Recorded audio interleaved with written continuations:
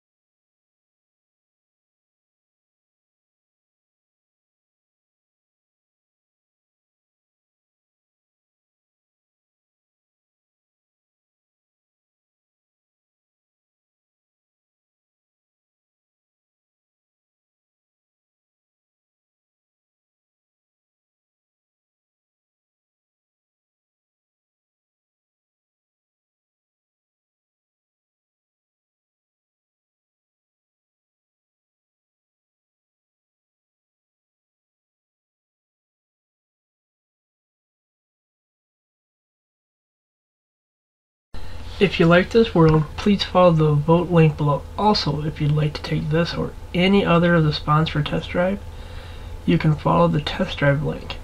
As always, don't forget to hit that like button. This has been Royalogic. See you on the flip side.